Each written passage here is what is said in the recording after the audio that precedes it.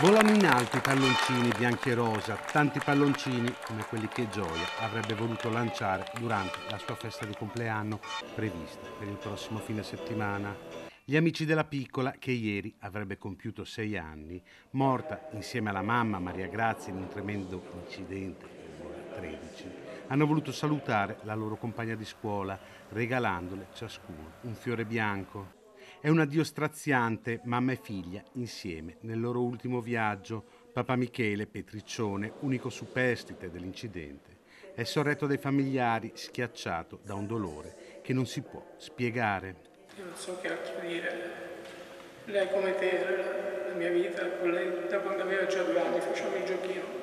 Io dicevo, Gioia, cosa sei tu per papà? E lei diceva, la tua vita dicevo, ah sì, che significa? Che non puoi vivere senza di me. Se così è, senza di voi non potrò vivere.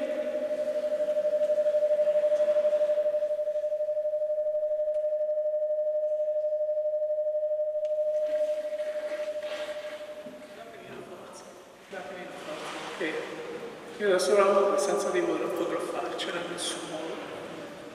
In nessun modo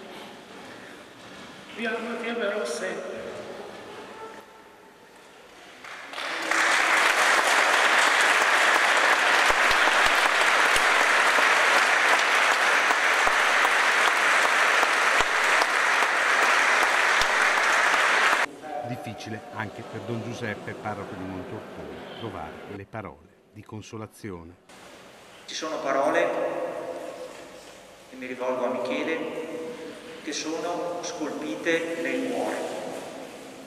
Mi riferisco a quelle parole che vi siete detti poco prima che succedesse la tragedia. Per una, per una singolare circostanza, non le solite parole per organizzarsi, per prepararsi, ma qualcosa di più.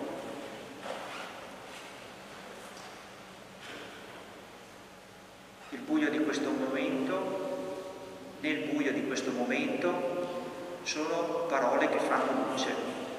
Ciao gioia, sempre insieme, gli striscioni appesi fuori dal santuario, a pochi metri dall'asilo dove la piccola aveva giocato felice fino allo scorso giugno.